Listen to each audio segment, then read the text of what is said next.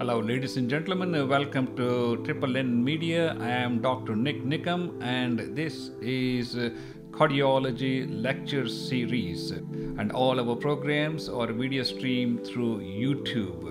And please, please do subscribe to our YouTube channel. Now, the feature presentation. Hello, ladies and gentlemen. Welcome to Cardiology Lecture Series. In this presentation, we are going to focus on cardiac auscultation. For most people, cardiac auscultation means putting the stethoscope on the left side of the chest. If they hear heart sounds, that's it, they are done.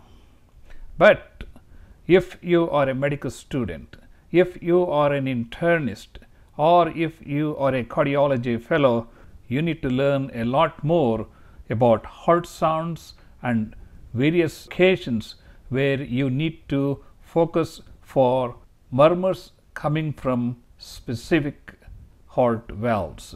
From a cardiologist's perspective, we listen to heart not only at the apex but in multiple areas. Let's start off with the location that is most familiar to everybody, and that is the, the mitral valve region. However, as a cardiologist, we should be aware of multiple other locations. Before I get into the positions, I want to give you an overview of the rib cage because uh, most of these areas are referenced to the intercostal spaces. And here is the sternum, here is the first rib, here is the second rib, here is the third rib, here is the fourth rib, here is the fifth rib. So, this is the first intercostal space. This is the second intercostal space. This is the third one. This is the fourth one. And similarly, we have got the first intercostal space. Here is the second one. Here is the third one. Here is the fourth one on the left side. the aortic area is located just to the right of the sternum in the second intercostal space. Opposite to that the pulmonic area is located in the second intercostal space to the left of the sternum. Similarly, the tricuspid valve is best heard in the fourth intercostal space just to the right of the sternum, whereas the mitral area is generally located in the fourth and sometimes in the fifth intercostal space depending upon the size of the heart. It is located in the mid clavicular line. In addition to that, we also should be routinely listening to the carotid arteries on both sides for carotid bruits.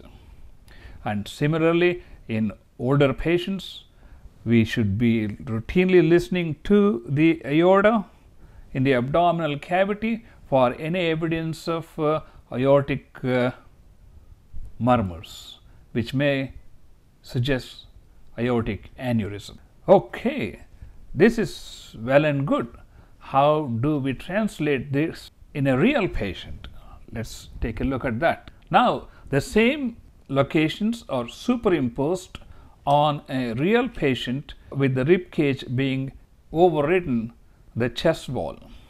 Similarly, we have the aortic position here, we have the pulmonic position here, we have the tricuspid valve. Sometimes we can hear sounds of the tricuspid uh, murmurs uh, on the right side also, again depending on the location of the heart inside the chest cavity. And then we have the mitral area here, which is just below the nipple, and the carotid, which is just to which is just in front of the sternocleidomastoid at the level of the cricoid cartilage on both sides.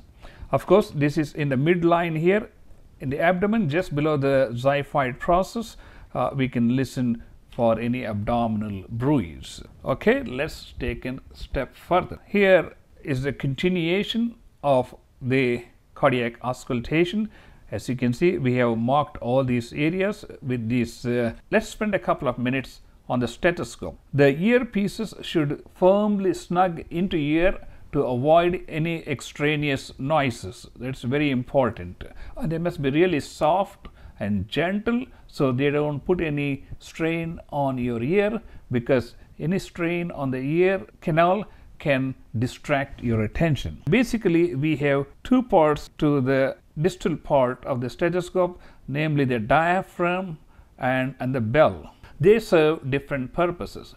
The diaphragm is used generally at the apex to listen to the heart sounds, and it is also good for high pitch or high frequency murmurs. The bell is generally used for listening to soft heart sounds or low pitched diastolic rumbling. The diaphragm is used for listening to the high pitched murmurs which are generally arising from stenotic valves such as aortic stenosis or pulmonic stenosis, whereas the bell is used to listen to soft diastolic uh, rumble produced by aortic regurgitation or pulmonic regurgitation.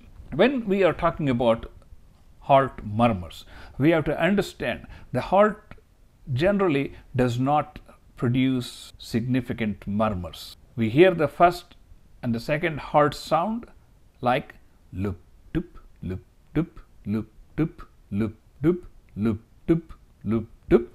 In patients with heart failure, we can hear a third heart sound which may sound like loop doop doop loop doop doop loop doop doop loop doop doop loop doop doop. But the heart murmurs are most often related to either stenotic valves or a leak in a given valve. We do hear systolic murmurs in hyperdynamic situations in patients like uh, renal failure, hypertension, or anemia, but that is usually due to an increased flow which causes the turbulence. The heart murmurs are caused by the turbulence of the blood due to interference with the smooth flow across the valves. When we are talking about heart murmurs, we should also listen to the quality of the murmur. Is it high pitched? Is it low pitched? What is the duration of the heart murmur? Is it like a continuous murmur or does it have a crescendo decrescendo shape? What is the quality of the heart sound following the heart murmur? Are there any changes with respirations, position, squatting, or medications? All these things need to be taken into consideration when we are listening to the heart as intensely as we are supposed to listen. It is very important, as I said, for internists, medical students, and cardiology fellows to listen to the heart thoroughly in all these different regions uh, which I have mentioned, including looking for aortic bruit in patients with uh, aortic aneurysm on a routine basis. So often I see people totally ignore the neck. If you listen to the neck and you hear a bruit and you do a carotid duplex and if they have a critical stenosis, you could be helping them by reducing the risk of TIA or stroke. So, as a cardiologist, you should always, always listen to the carotids on a routine physical examination. Let's look at some simple heart murmurs. This is going to be just an overview because uh, that will be a totally separate topic altogether. The mitral regurgitation murmur and the tricuspid regurgitation murmur are of lower pitch quality. They are holosystolic, that means they last throughout the systolic phase, and the mitral murmur is heard at the left ventricular apex, and sometimes it is radiated to the left axilla. Whereas the tricuspid regurgitation murmur is heard to the right of the sternum in the fourth intercostal space and it is also pansystolic. Whereas the aortic stenosis murmur is going to be like a diamond shaped. It has a crescendo decrescendo shape. In addition to that, it is also a high pitch murmur. It has a harsh sound. When the aortic stenosis is really critical, it gives like a sound. It's really high pitched, like a like a bird's uh, sound. Similarly, on the pulmonic side, we have a pulmonic stenosis, which you mostly see in the pediatric population that has the similar qualities of aortic stenosis, but the intensity is not as strong as that we see in patients with aortic stenosis. One more point about aortic stenosis murmur is uh, this murmur is conducted to the neck as a carotid bruit and that's a, that's another reason why you have to listen to the neck all the time when you are examining patients. The pulmonic and the aortic regurgitation murmurs are of uh, low pitch in quality and they are sort of a decrescendo type of murmurs. Abdominal bruit is going to be also of uh, low frequency. You should also listen to the carotids for any evidence of bruit that might signify stenosis in the carotid arteries.